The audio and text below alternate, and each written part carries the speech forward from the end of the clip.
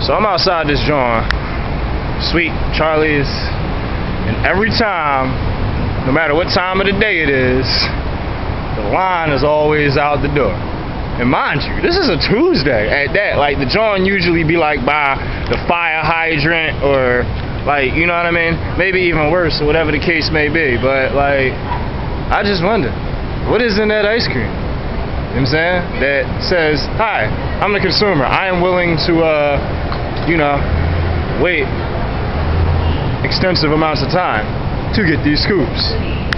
So if you can tell me what's in the ice cream, man, like, let me know. One.